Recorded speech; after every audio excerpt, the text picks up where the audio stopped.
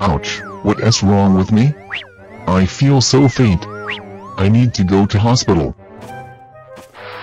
Why do I feel more faint? ISNT a terminal illness? Doctor, what ill have I got? Can you save me? There are two news. Good and bad. Which one do you want to know first? It seems terminal illness. Just tell me the worst one. I checked out you are gay. And it is hard to heal. Oh, my god, what is the good news? I feel that I like you so much.